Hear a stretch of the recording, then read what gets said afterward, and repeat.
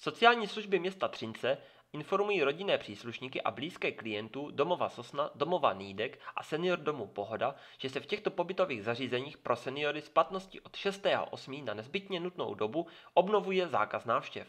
Omlouváme se, ale opětovně s ohledem na nepříznivý stav epidemiologické situace na Třinecku a v některých okolních domovech pobytových sociálních služeb musíme vyhlásit zákaz návštěv. Nechceme bránit vzájemnému setkávání rodin, ale naším cílem je zajistit maximální ochranu našich seniorů. Tento zákaz bude platit pouze po dobu nezbytně nutnou. Situaci permanentně sledujeme a vyhodnocujeme ve spolupráci se zřizovatelem naší organizace městem Třinec, uvedl ředitel sociálních služeb města Třince Pavel Pezda. Stejná opatření přijali také senior domy Pohoda.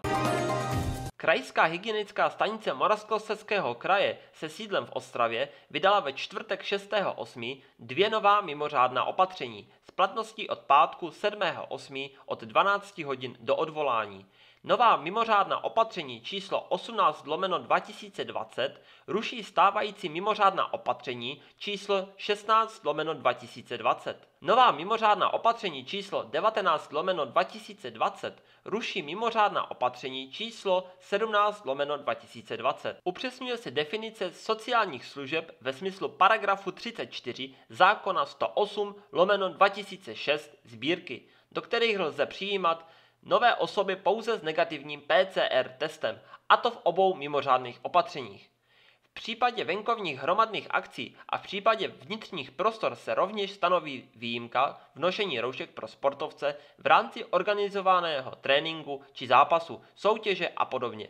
V případě umělých koupališť byla stanovena jednotně kapacita všech umělých koupališť, která se bude odrážet na velikosti daného umělého koupaliště a to tak, že se vypouští maximální počet osob 500, nicméně zůstává zachován limit v podobě 10 metrů čtverečních na osobu.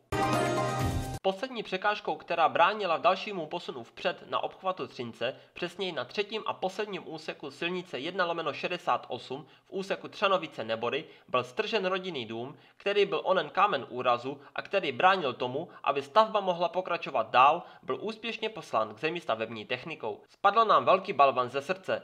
Nejproblematičtější pozemek už je ve vlastnictví ředitelství silnic a dálnic České republiky. V minulém týdnu tam proběhla demolice, dodala primátorka Třince Věra Palkovská.